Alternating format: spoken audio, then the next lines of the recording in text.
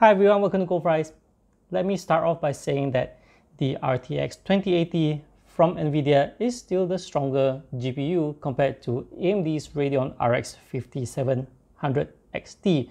So what I'm sharing today is how an RTX 2080 can be outperformed by the RX 5700 XT. To say outperform is actually inaccurate. What happens is that the RTX 2080 GPU, if paired with a weaker processor, which is CPU, can cause it to underperform. And that is where the RX 5700 XT, of which paired with a reasonably powerful processor, can actually outperform the RTX 2080. There is, however, a misconception that only the GPU matters. Well, actually the CPU matters too. It's good to strike a balance, though on some titles, the CPU doesn't matter that much. And even when you go on a high resolution, the CPU matters less. But nevertheless, getting a balanced setup is good. And that's why I'm looking forward to show you guys the benchmarks of the upcoming Ryzen 3 3100 and 3300X, of which I think can do a pretty good job in gaming. Do remember to subscribe to my channel if you haven't and click the notification so you know when my review comes. As I go through the 10 benchmarks afterwards, I'll be highlighting about monitors because the monitor will ultimately decide your experience. A 60 Hz refresh rate monitor can only show you 60 frames per second because it only refreshes 60 times per second. Therefore, whether you have 80 or 100 frames per second, it does not matter. And I'm testing it on 1080p. So if you are gaming on 1440p, know that the higher resolution you go, the less the CPU matters. And in my benchmark, I do not have the RTX 2080 paired with my Ryzen 5 3500X because the RTX 2080 is no longer with me. Alright, without further ado, let's dive into the benchmarks. In Shadow of the Tomb Raider, you will see that the RX 5700 XT on a third generation Ryzen outperforms the RTX 2080 on the second generation Ryzen.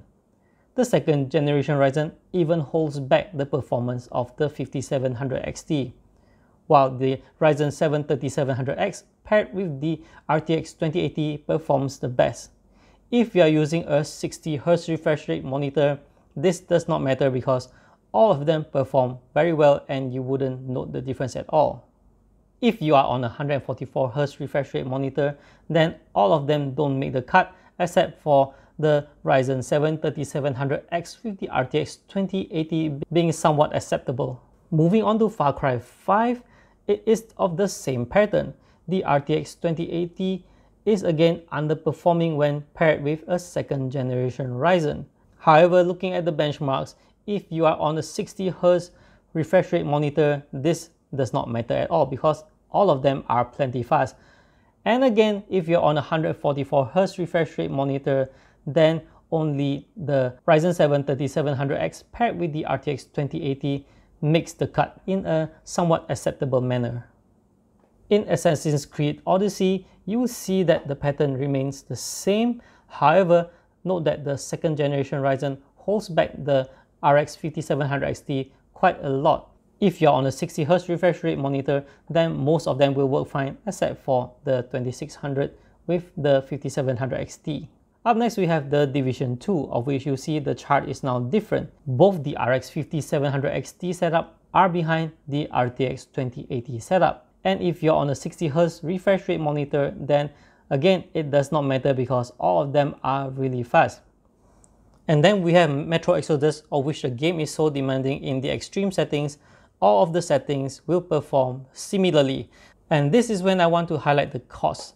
The Ryzen 5 2600 costs less than the Ryzen 5 3500X, even if you are intending to pair it with a Ryzen 5 1600AF, which many of you say is the 2600. It's cheap, but even so, once you factor in the graphics card, the most expensive RX 5700 XT is still far less in terms of cost compared to the RTX 2080 or even the RTX 2070 Super. So in the end, by having the imbalanced pairing, you are paying more for same or lesser performance. Now let's move on to the second set of benchmarks of which I am comparing the Ryzen 5 2600 that represents the second generation Ryzen processor against the Ryzen 5 3500X which is the third generation Ryzen but it's not as strong as the bigger brothers 3600 and up. In World War Z, you will see that the Ryzen 5 3500X outperforms the Ryzen 5 2600 by far. If you are playing at 60Hz refresh rate monitor, this is a non-issue. If you are playing at a 144Hz refresh rate monitor, then I say both will perform very well with a slight setback on the second generation Ryzen setup. In Red Dead Redemption 2, again, the performance is actually similar with the second generation saw a lower 1% low. But if you're on a 60Hz refresh rate monitor, then again, this is non-issue because it will still perform well enough.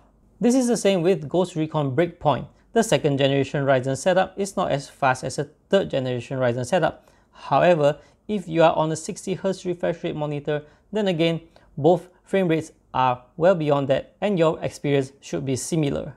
Moving on to Dota 2, you'll see that the third generation Ryzen setup outperforms the second generation Ryzen setup by far.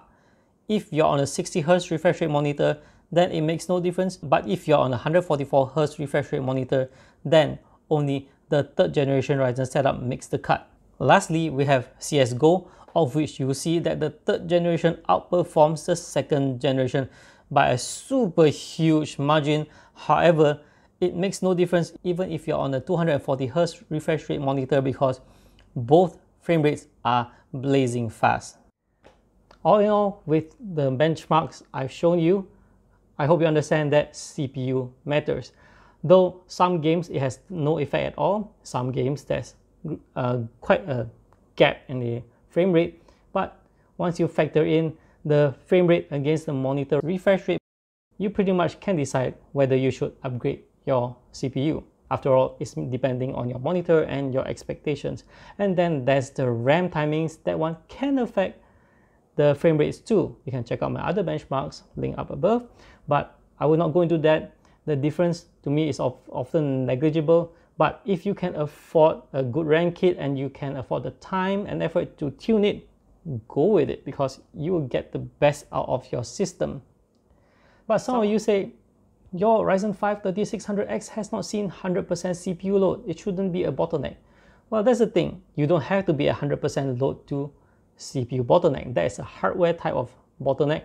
In this case, games are often developed in such a way that it can use a lot of threads. So these threads are already assigned the task and now it's the matter of waiting for the task to get done. So this is where the clock speeds and the instructions per cycle matters. These things will in the end affect the performance. It doesn't have to reach a 100% CPU load to face a bottleneck. With all that said and done, I hope you enjoyed this video. Do remember to subscribe to my channel if you haven't and I'll see you in the next one. Bye bye.